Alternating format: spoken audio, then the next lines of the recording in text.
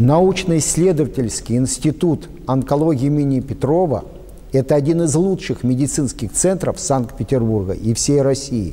Гордость отечественного здравоохранения.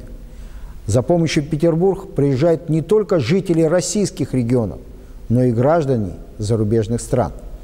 100 тысяч пациентов в год – цифра, сравнимая с населением небольшого европейского города.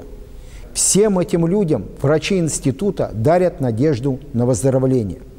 Ведь институт проводит громадную работу государственной важности, потому что онкологические заболевания – это одна из самых серьезных проблем 21 века.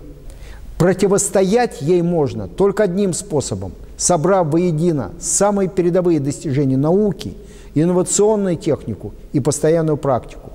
Все эти три компонента есть в институте, врачи которого добились замечательных результатов в борьбе с раковыми заболеваниями.